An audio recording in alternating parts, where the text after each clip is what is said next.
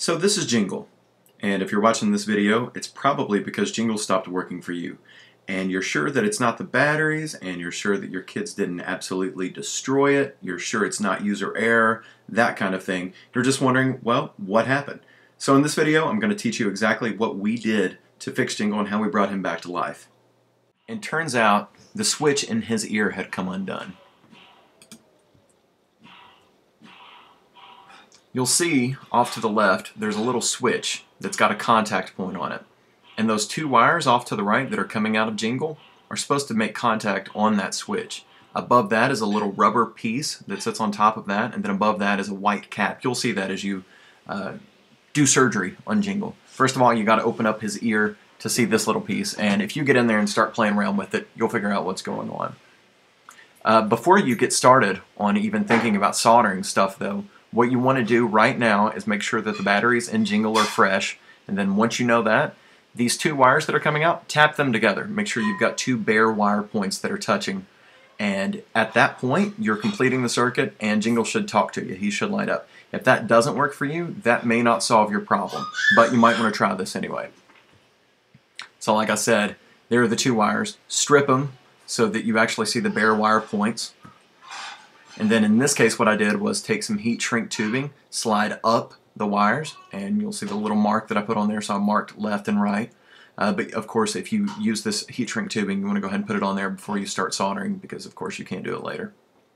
So then there's the little switch, and you'll see uh, I've got one side kind of lined up with the wire here. I don't think it matters because once again, you're, all you're doing here is completing the circuit. So really all, all you need to do is just solder either side. But in my case, I was able to keep track with which side came from where, I think. So uh, it, it ended up working out fine for me. And there's my first solder joint.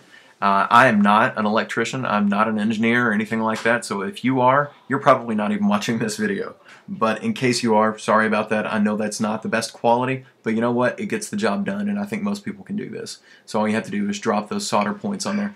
Uh, I used a really basic soldering iron from Radio Shack, and some very basic solder. Uh, all it took was about a drop each on either side. Really, really simple. So there it is completed.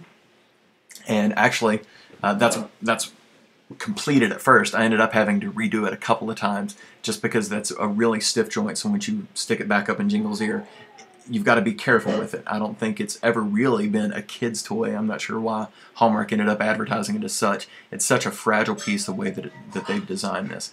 But nevertheless, if you do it right, it's going to be a lot more stable than it ever was coming from China.